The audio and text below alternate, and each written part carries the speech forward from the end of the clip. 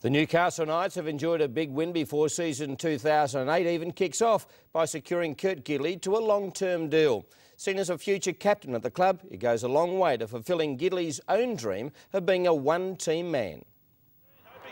2007 couldn't have been much better for Kurt Gidley, earning both state and Australian representation. It also made him hot property on the player market. But the Knights have held off the courting clubs, signing him to a three-year contract with the option of a fourth. I haven't wiped the smile, smile off my face um, you know, since I sort of made the decision last night. A hometown boy, it was always going to be hard to leave, but the 25-year-old sought advice from close friends and family, in particular his brother Matthew.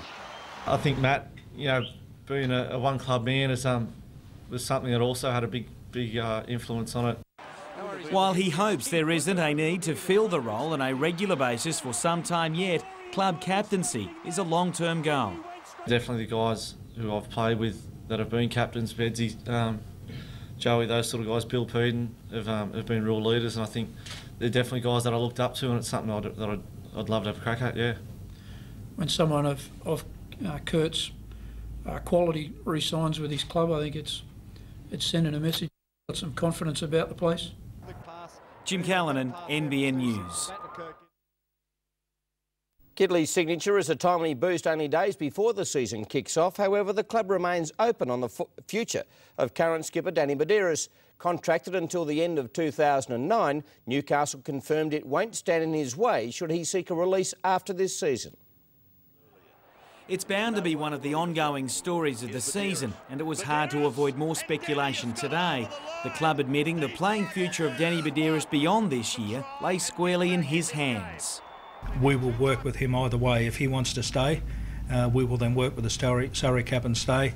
Uh, if his decision is to go and finish in England, uh, we wouldn't stand in his road either. The team to start the season against Canberra on Saturday night is also to be confirmed. Using a squad of 20, coach Brian Smith will wait until closer to game days this season before confirming his final 17, a tactic he'll employ throughout the season. Either way, it leaves a certain level of intrigue over some positions, particularly the halves. We'll be utilising all of the talents of those guys. Walsh not even in the squad this week, but, but he will be at some stages. Uh, and we're, we're thinking we'll use all four of them. One thing is for sure, Luke Walsh won't be heading to France anytime soon. The NRL ending any chance he had of playing on an injury loan in the English Super League for Catalans, declaring that registered players can't hold dual contracts.